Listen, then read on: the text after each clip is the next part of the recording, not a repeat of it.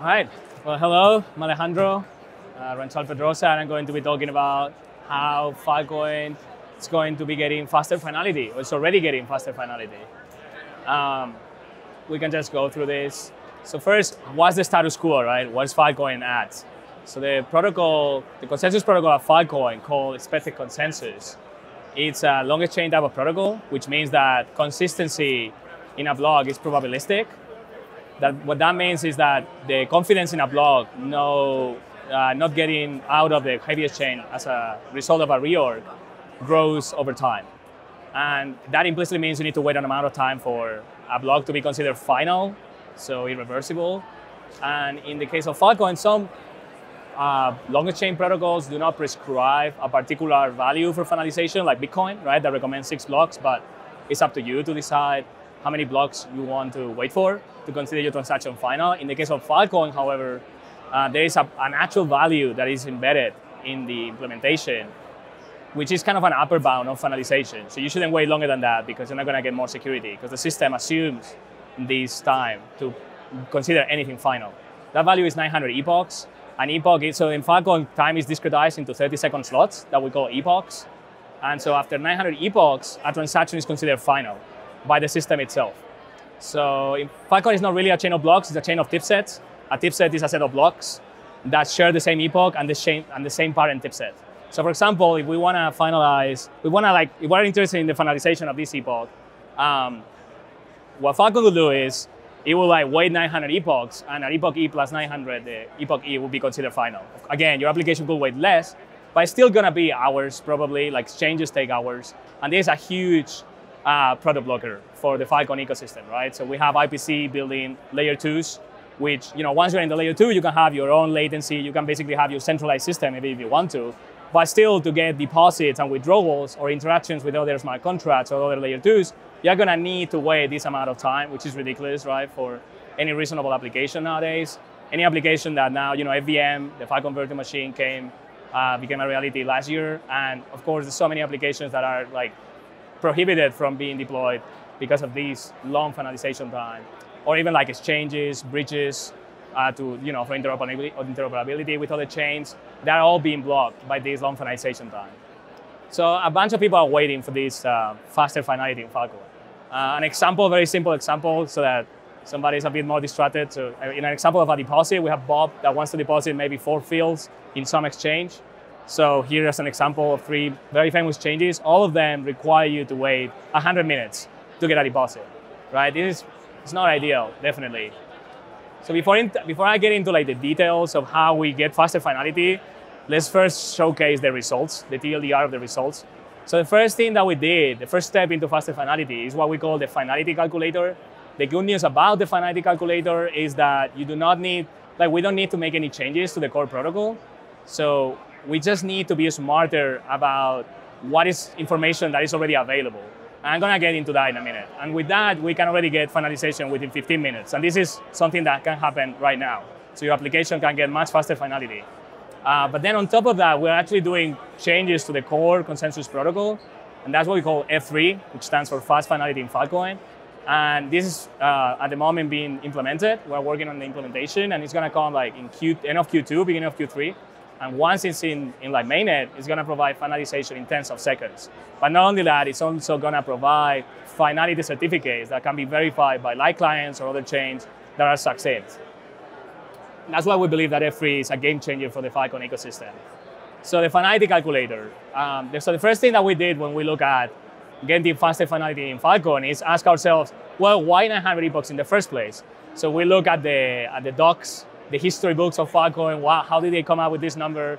And it turns out that they, they come up with this number because they were looking for a worst case, very safe uh, value to, to embed in the system because the Filecoin client, so the power table, the membership of the system in Filecoin is part of the state of the system. And the Filecoin clients assume that this power table uh, doesn't suffer reorgs, it's final. So they need to subscribe a particular value that will work in all cases. So it needs to be a static worst case asymptotic value. Um, but in most cases, you know, you will be able to assert based on the information that you have available that you are actually not in the worst case. And that's what the finality calculator is about. Not all tipsets are created equal. So for example, if you have five consecutive epochs, where in each epoch you have seen two blocks. In expectation, in every epoch, there's five proposers selected. So if you have seen two blocks consecutively for five epochs, you don't have as much confidence in that chain being the heaviest chain as if you have seen five consecutive epochs with five blocks, right? Because the probability of there being a different chain is much lower. Uh, so in the good case, actually, most uh, epochs, you will be able to see like tip sets that contain five blocks. So in the good case, you're actually going to see a really favorable scenario to reduce finality. And what that means is that we can actually get finality within about 15 minutes with the same security, just being smarter about what we're seeing. And this is all information that a full node already has available for himself. Uh, when we did this analysis, we basically are in some epoch at the current time, so the current epoch, and we are asking ourselves about the finality probability of an older epoch, right? The, the epoch that we're observing. And to do this analysis, we look at three different uh, times. So one is the distant past. That will be everything that happened before the observable epoch, right? The epoch that we're considering. The other one is the recent past. So that's everything that happened between the observable epoch and the current epoch. And the other one is the future. So of course, for the future, there's nothing you can do, right? You just assume the worst case. For the distant past, you might be missing some information that you kind of have a filter, like chains that you don't consider the heavy chain anymore, things like this. Um, but you, you still like kind of like look at some stuff. And for the recent past, you have very readable information. And so based on, you know, there's a FIP in the Filecoin improvement proposal repo, you can look at all the data uh, and like all the design of how we calculate this. Uh, but essentially, if we can reduce seven and a half, we can reduce seven and a half hours to 15 minutes in the good case. And what that means as well is that if exchanges are happy with always waiting for 100 minutes, considering the worst case, then they surely will be happy using the finality calculator to finalize things after five minutes. So that's quite good, you know. Um, it's also, it's, wait, this is, okay, yeah, this one. Um, so yeah, hours was horrible, right? It's uh, like in, in, the, in this current age of blockchains with the FVM and whatnot, hours was just a huge product blocker. Minutes is pretty good, you know. It's actually probably the lower bound you can get in longer chain protocols. Uh, but it's not good enough. You know, we want something better. What we want is seconds. Well, yeah, what we want is seconds. But we cannot obtain faster finality with a longer chain protocol. We cannot obtain seconds, finality in seconds, and be safe. And even some finality gadgets like Ethereum still take six minutes to finalize anything. So what we came up is, well, we came to the conclusion that we need a new architecture. Uh, but let's justify that, right? When we started looking at the possibility of having a new architecture, we set out four main goals. So we want fast finality, but we don't want fast finality to come at the cost of less security. You can always get that if you just use the current system and just lower the finalization time. But that's not what we want, of course. And like some, a very common thing that tends to happen, if you fix the requirement of low latency, but also fix high security, normally what suffers is the assumptions, right? You just have very strong assumptions. So maybe your adversary is weaker or something like that. We also don't want that. Or put differently, we are designing this in a modular way. Some other parts of the system might change later, or even this model can be used by other longer chain protocols. So we don't want this model to be the reason why the system has strong assumptions. So even if the system has strong assumptions, we don't want this model to happen. And we also want to follow the path of least resistance. Filecoin has been around for a while. It's been battle tested. It has a strong community. We don't want to make strong changes, big changes to this to the system, right? Um, so with that in mind, we went out and had a look at uh, what other projects are doing. Uh, fork choice protocols already went through it. We're just not going to get faster than five, six minutes at least. Um, then we look at Avalanche's of sample voting. Very interested initially because it gets finality within like second, a second, and it scales very well. But um, it assumes strong synchrony and um, and yeah. So apart, apart from assuming strong synchrony, it assumes an adversary that controls at most 20% of the power table, which is actually not that bad when you have a really uh, big number of participants in the power table, but we believe for the sizes that we're talking about in Filecoin, like within the thousands, we can do better than 20%.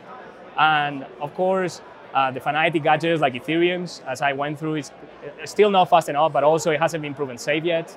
And there are some other security concerns because this assumes a strong synchrony that we felt we don't want to assume. And of course, BFT protocols, the holy grail of distributed systems, have been studied for a while, for decades. They're fast, they're resilient, but it's definitely not the path of least resistance to change from a longer chain protocol into a BFT-based consensus protocol. So then we ask ourselves, well, you know, the last two, the finality gadgets and BFT protocols, kind of like have like orthogonal like properties that are desirable. So can we just have a BFT protocol as a finality gadget? And that's precisely what F3 is about. So just a small schematic of how F3 changes the architecture. So this would be a schematic of how uh, the longer chain uh, expected consensus works. So there's some blocks that come from the network into a process that we call the EC syncer. And basically this process adds the block to the local view of the chain. And then there's some fork choice rule that selects the heavier chain, right? In this case, the one with the head block H.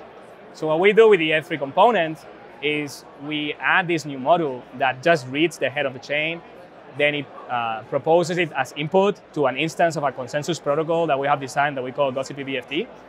And then it outputs some other block as final. So in this case, the head chain, the head of the heaviest chain according to this node is H, which is what it proposes for the instance of GossiPBFT. But the output of GossiPBFT is not H, it's B. So then this block will be marked then as final, and which means that it will always be part of the heaviest chain. So that's how F3 changes the architecture. Uh, in terms of the integration, good news is uh, the absolutely necessary uh, interaction, like API calls that F3 requires, are already part, are already like functionality that the Filecoin client provides, which is reading the head of the heaviest chain and marking a tip set as final. In the case of Filecoin, this is something that's provided for, no, for users to be able to checkpoint a tip set that is of interest for them, uh, but it's basically the same functionality. However, for practical purposes and implementation, we explicitly updated the fork choice rule more than use this API call. And instead of pulling, uh, we are actually pushing from uh, the Filecoin client or every change to the head of the chain because of some optimizations. And of course, we need to implement from scratch the consensus, the BFT consensus protocol, but this consensus protocol can be done completely independently, right? The implementation. So it doesn't need to change any of the code that exists. Now, I should justify why yet another BFT consensus protocol, right? Uh, I could spend more time on this, but just to go quickly, it's not that new. It's actually based on Russia's binary Byzantine agreement, asynchronous binary Byzantine agreement that was proposed decades ago. It has, been, it has been battle tested and is well known. The reason why we chose it is because it's very, very simple. Uh, it also has some elements of PBFT, but much simpler. We don't have a view change because we don't have a leader which is what makes it very simple. Everybody executes the same protocol. The same protocol has executes in rounds. Uh, each round has between three and four communication steps, which are very, all of them are very similar and execute almost the same logic, same message format, uh, and similar message validation as well.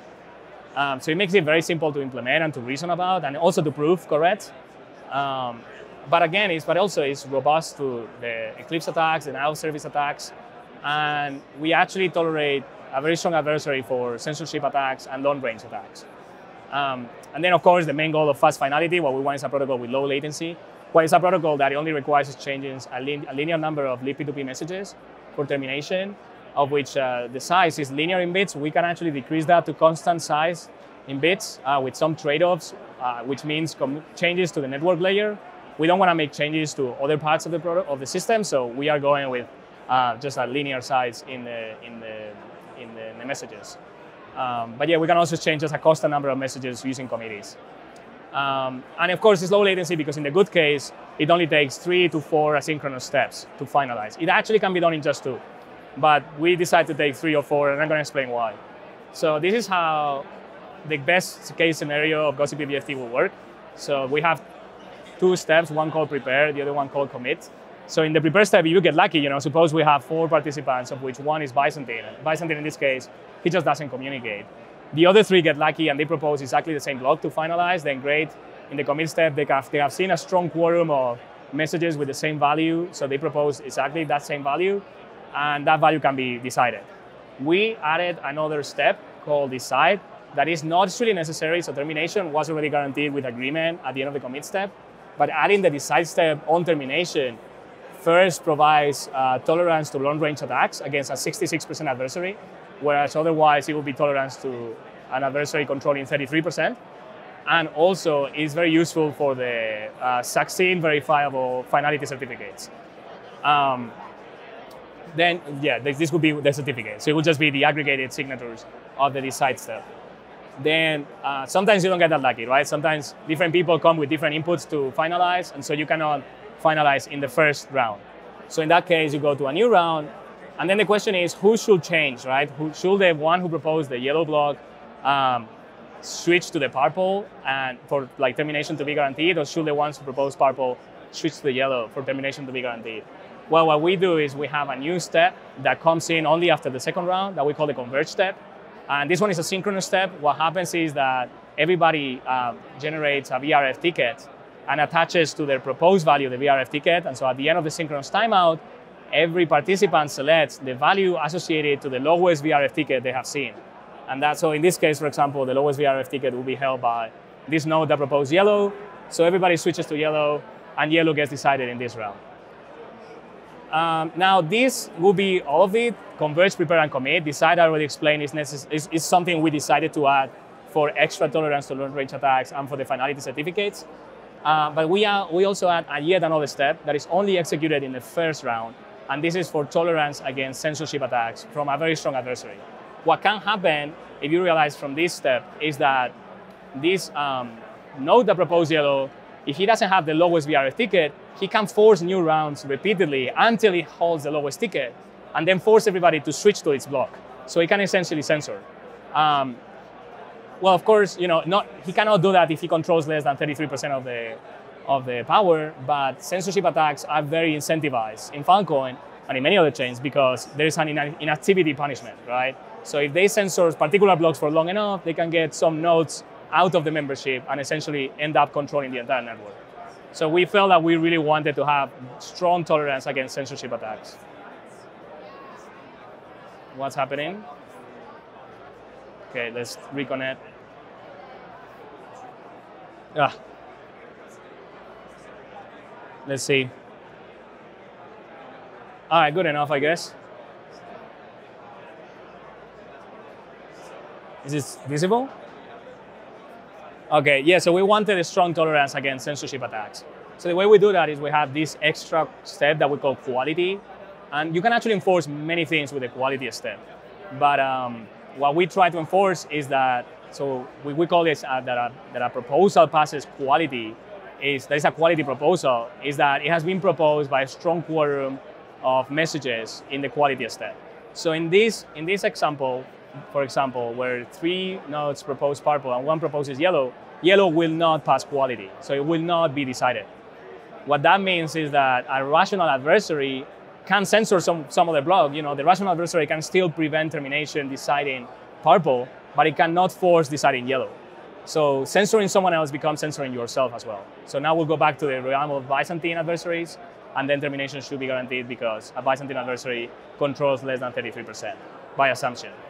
Um, so that will be all the steps that are necessary to run GossiPBFT. And then the finality exchange protocol. So having fast finality of Filecoin is great, but it's not as good if we cannot prove this fast finality to other systems or to layer twos, to light clients. That's why we have the finality exchange protocol. So essentially, with the finality exchange protocol, um, a node that doesn't even run a full node, just maybe a light client, or not even a light client, he just needs to, like a node just receives um, an information of it. Actually, let's go to the next one. Maybe I'll go back here.